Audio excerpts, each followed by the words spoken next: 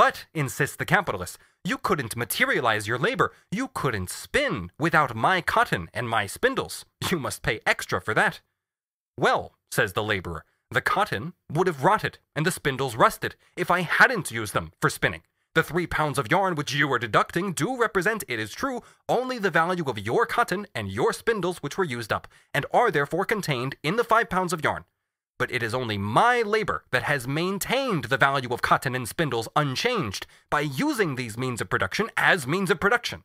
I'm not charging you anything for this value maintaining power of my labor because it didn't cost me any extra labor time beyond the spinning itself, for which I get the two pounds. It's a natural faculty of my labor which costs me nothing, though it maintains the value of the constant capital. As I don't charge you anything for it, you can't charge me for not being able to spin without spindles and cotton. For without spinning, your spindles and cotton wouldn't be worth a brass farthing. Driven into a corner, the capitalist says, The two pounds of yarn are in fact worth two shillings. They represent that much labor time of yours. But am I to pay you for them before I have sold them? Perhaps I may not sell them at all. That is risk number one. Secondly, perhaps I may sell them at less than their price. That is risk number two. And thirdly, in any case, it takes time to sell them. Am I to take on both risks on your behalf without recompense and lose my time into the bargain? You can't expect something for nothing. Wait a bit, replies the worker. What's the relation between us? We face each other as owners of commodities. You as buyer, we as sellers. For you want to buy our share in the product, the two pounds, and it in fact contains nothing but our own materialized labor time. Now you assert that we must sell you our commodity below its value, so that as a result, you would be getting more value in commodity than you now have in money. The value of our commodity is equal to two shillings. You want to give only one shilling for it, so that, since one shilling contains as much labor time as one pound of yarn, you would get from the exchange twice as much value as you give in return. We, on the other hand, would get, instead of an equivalent, only half of an equivalent, an equivalent for only one pound of yarn instead of two. And on what do you base this demand, which is contrary to the law of value and the exchange of commodities in proportion to their value? On what? On the fact that you are a buyer and we are a seller, that our value is in the form of yarn, of a commodity, and your value is in the form of money. That the same value in the form of yarn confronts the same value in the form of money. But, my good friend, that is in fact a mere change of form, which affects the way in which the value is expressed, but leaves the amount of value unaltered. Or do you hold to the childish view that every commodity must be sold under its price, that is to say, for less than the sum of money which represents its value, because in the form of money it gets an increased value? But no, good friend, it does not get any increased value. The magnitude of its value does not change. It merely takes the shape of exchange value in its pure form. Besides, my good friend, think of the troubles you are laying up for yourself by taking this line. For what you assert amounts to this that the seller must always sell his commodity to the buyer below its value. Indeed, as far as you are concerned, this was the case earlier when we sold you not a commodity we produced, but our labor power itself. It is true that you bought it at its value, but you bought our actual labor below the value in which it is expressed. However, that's an unpleasant memory. Let's say no more about it. We've gone beyond that, thank goodness, since, by your own decision, we are no longer to sell you our labor power as a commodity, but the commodity itself, which is the product of our labor. Let's look at the troubles you're laying out for yourself. The new law you have set up, that the seller pays for the conversion of his commodity into money not with his commodity, through the exchange of his commodity for money, but that he pays for it by selling the commodity below its price. This law, which the buyer always fleeces and defrauds the seller, must hold good in like measure for every buyer and seller. Let's suppose that we accept your offer, but on the condition that you yourself submit to the law just created by you, namely the law that the seller must surrender to the buyer a part of his commodity for nothing, in return for the buyer changing it into money for him. Then you buy our two pounds, which are worth two shillings, for one shilling, and thus make a profit of one shilling, or 100%. But now you have five pounds of yarn of a value of five shillings, after you have bought the two pounds belonging to us. Now you think you're going to do a good stroke of business. The five pounds cost you only four shillings, and you're going to sell them for five shillings. Wait a minute, says the man who buys from you. Your five pounds of yarn is a commodity, and you are a seller. I have the same value in money, and I am a buyer. Consequently, by the law which you recognize, I must make 100% profit out of you.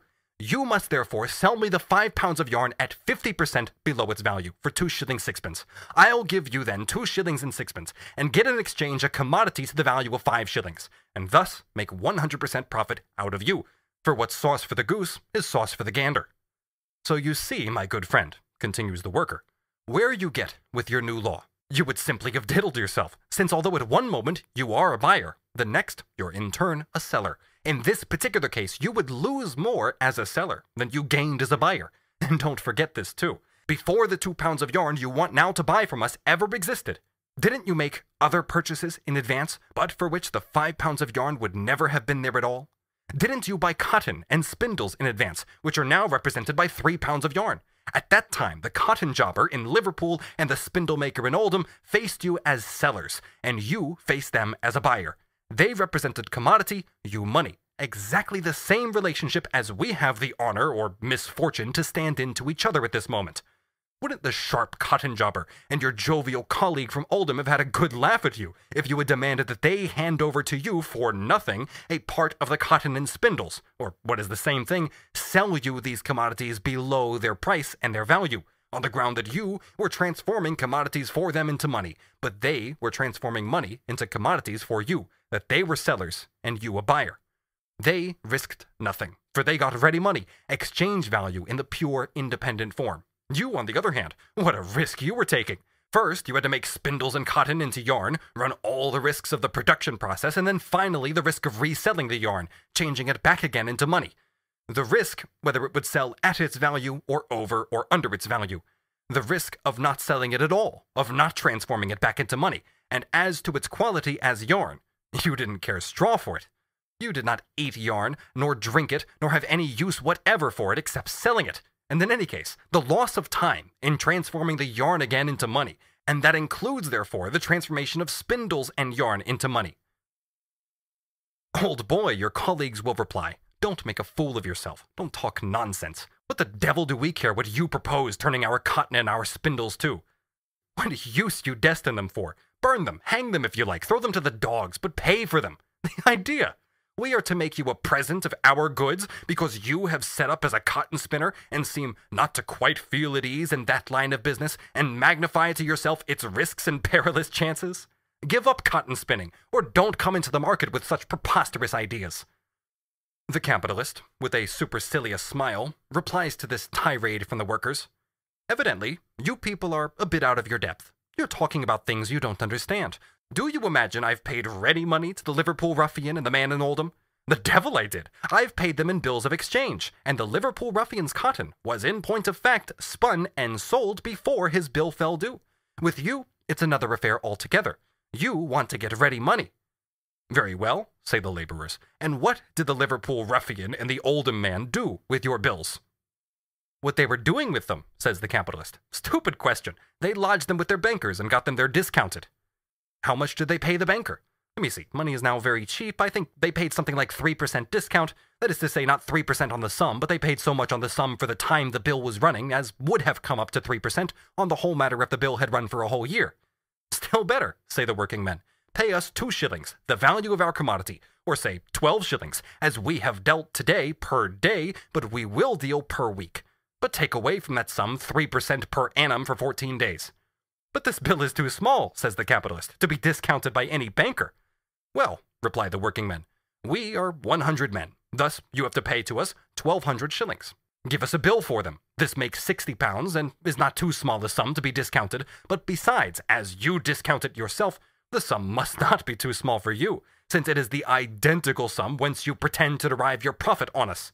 The amount deducted wouldn't be worth mentioning, and since we would thus get the major part of our product in its entirety, we would soon reach the point when we didn't need you to discount it for us. Naturally, we will not give you any longer credit than the 14 days the stock jobber gives you.